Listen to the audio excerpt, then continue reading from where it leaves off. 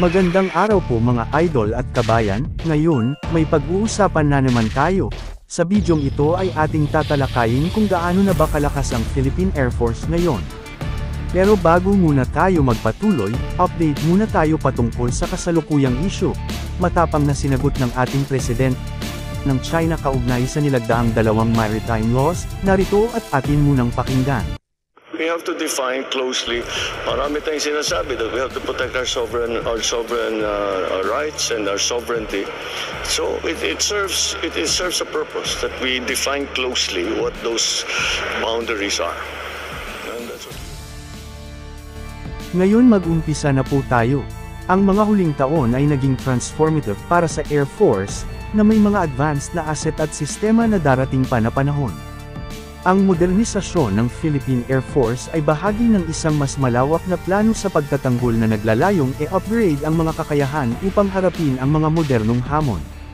Kabilang dito ang pagpapalakas ng pagtatanggol sa teritoryo, mabilis na pagtugon sa mga natural na sakuna, at pagsuporta sa mga pangangailangan sa seguridad ng ating bansa.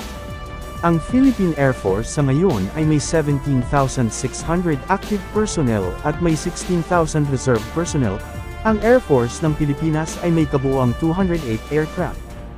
Ngayon ay ating isa-isahin kung anong meron sa ngayon ang Philippine Air Force. Magsimula tayo sa pagmamalaki ng Philippine Air Force ang mga fighter jet. Sa kasalukuyan, ang FA-50PH Fighting Eagles ang pangunahing asset natin ngayon, meron itong labing dalawang unit. Ang mga versatile jet na ito ay napatunayang napakahalaga sa mga air defense mission, close air support, at reconnaissance operations. Pero tandaan natin na hindi po ito multi-role fighter aircraft dahil limitado lang po ang kakayahan nito.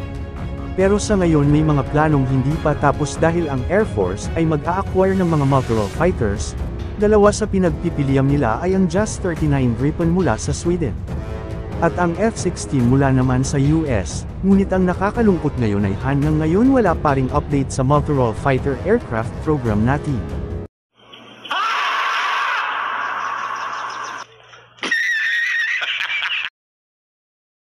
Higit pa sa mga fighter jet, meron din ang Air Force ng mga airlift at transport aircraft nito. C-130 Hercules, may nasa limang unit, ay isang pinagkakatiwalaang workhorse, lalo na sa mga operasyon sa pagtulong sa kalamidad.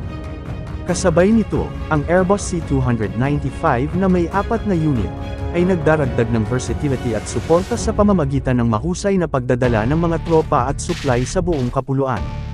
Ang pinalawak na kakayahan sa transportasyon na ito ay mahalaga para sa paghahatid ng makataong tulong sa panahon ng krisis, paglikas ng mga sibilyan, at paglipat ng mga tropa ng marami kapag kinakailangan. Ang Sikorsky TS-70I Black Hawk helicopter na may 32 unit, ay naging kailangang-kailangan para sa parehong combat at non-combat missions, mula sa troop transport hanggang sa medevac operations. Bukod pa rito, ang meron rin tayong dalawang A-1 Cobra attack helicopter ay nagpalakas sa firepower ng Air Force. Ang mga Cobra na ito ay nagdadala ng mga kakilap-kilabot na kakayahan sa pag-atake sa lupa, na mahalaga para sa mga operasyong kontra-insurhensya, lalo na sa masungit na lupain kung saan hindi madaling maabot ng mga tradisyonal na armored vehicle. At isa pa sa pinakamalakas na assets ngayon ng Philippine Air Force ay ang ground-based air defense. Kamakailan ay nakuha ng Pilipinas, ito ay ang Spider Air Defense. System mula sa Israel, na gumagamit ng radar at missile interceptors upang masecure ang ating airspace laban sa mga papasok na banta. Ang makapangyarihang sistemang ito ay tutulong sa pag-detect at pag-neutralize ng mga kaaway na sasakyang panghimpapawid at mga missile, na makabuluhang nagpapalakas ng pambansang depensa. Upang i-maximize ang air security, ang Philippine Air Force ay namuhunan sa mga advanced na radar at early warning system. Ang mga istasyon ng radar na ito ay nakaistasyon sa mga madiskarteng lokasyon, na nagbibigay ng real-time na pagsubaybay sa mga paggalaw ng sasakyang panghimpapawid sa teritoryo ng Pilipinas. Ang mga pinahusay na kakayahan ng radar ay mahalaga para sa ating kamalayan sa sitwasyon at oras ng pagtugon. Ngayon ating isa-isahin mabilisan ang kanilang mga assets. 6 units na OV Bronco Light Attack Aircraft, 6 units na A-29D Super Tucano, 2 unit ng NC-212I Light Transport Aircraft, 4 unit na C295M, Bell 412, 7 units, Ote 9E may walang unit. MD520MG Defender may 12 units, isang close air support attack helicopter, at marami pang iba. Sa mga tuntunin ng suportang sasakyang panghimpapawid, ang gawang Indonesia na NC-212I light transport planes at T-129 attack helicopter ay naging mahalagang mga karagdagan.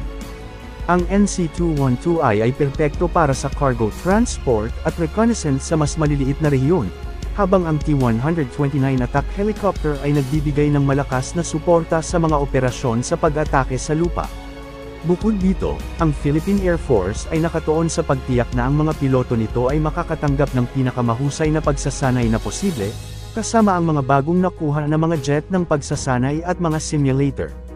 Sa ating pagsulong, ang Philippine Air Force ay may mas ambisyoso pang mga plano. Bukod sa pagkuha ng mga Gripen fighter jet, ang Air Force ay nag-e-explore ng mga posibilidad para sa mga susunod na henerasyong drone, pinahusay na air defense technologies, at marahil ay mas maraming multi-role fighter aircraft. Ang mga pag-upgrade na ito ay mahalaga para sa isang Air Force na handa sa hinaharap na may kakayahang ipagtanggol ang mga interes ng Pilipinas sa loob at labas ng bansa. Mga idol at kabayan, malayo na ang narating ng Philippine Air Force, na may makapangyarihang mga bagong asset na tumatayo bilang testamento sa pangako ng ating bansa sa pambansang depensa. Mula sa mga fighter jet hanggang sa ground-based na air defense system, handa ang Air Force na harapin ang anumang hamon. Sa bawat bagong pagkuha, bawat piraso ng advanced na teknolohiya, ang Philippine Air Force ay nagiging mas malakas na simbolo ng pambansang pagmamalaki. Kaya't ituon natin ang ating mga mata sa kalangitan at Huwag kalimutang mag-like, ang modernisasyon ng ating at sandatahang pindutin ang lakas. bell icon para manatiling Salamat sa panunood sa aming mga pinakabagong video. Hanggang sa susunod manatiling matatag, Pilipinas. Ngayon, dahil sa pagkapanalo ni Donald Trump, muling manghihina at may inis na naman ang China ito ay dahil noong nakaraang panunungkulan nito ay nagbabala ito laban sa China. Mismong sinabi ni Secretary Blinken na ang anumang armadong pag-atake sa mga puwersang militar ng Pilipinas, pampublikong sasakyang dagat, o eroplano sa South China Sea ay mga ngahulugan ng paggalaw ng kasunduan sa mutual defense ng Estados Unidos. Ibig sabihin, kung sakaling maglakas loob ang China sa agresyon, hindi lang ang Pilipinas ang haharapin nila. Sa matatag na suporta ng Estados Unidos, isang babala ito sa sinumang maninira ng soberanya ng Pilipinas.